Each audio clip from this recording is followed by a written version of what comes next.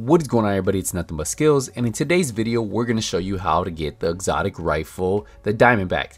Now this rifle, I haven't confirmed with anybody that's gotten this outside of Kenly College, so I still think this one might only be available in Kenly College. But if we get somebody who can confirm in the comments, hey, if you got this target farming, that would be great.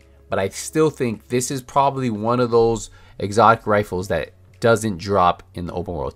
But it could be. It could be.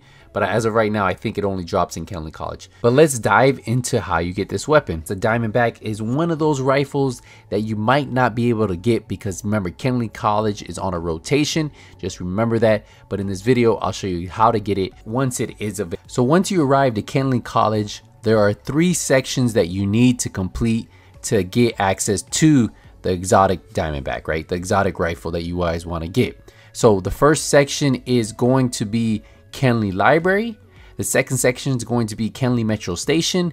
And the third is going to be Kenly Student Union. Now, once you complete all three of these sections, you will have access to Kenly Chapel. Now, once you finish all three sections, just head over to the chapel. There's going to be some stairs to the left going all the way down. Hit square and it should unlock the chapel door.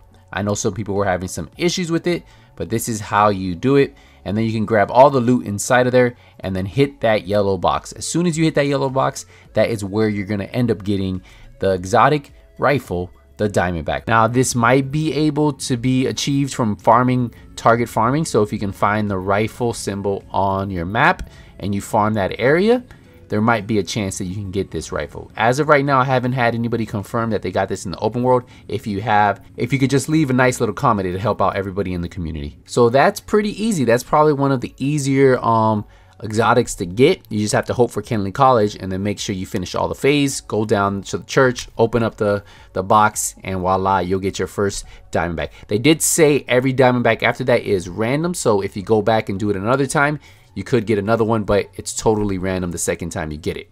Hopefully, we can get some answers to if somebody's gotten this in the open world so I can let you guys know about that.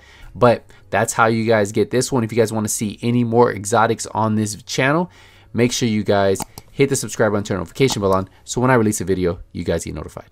We're going to wrap up this video here. I thank you guys again. I'll see you in the next one. Nothing but skills is out.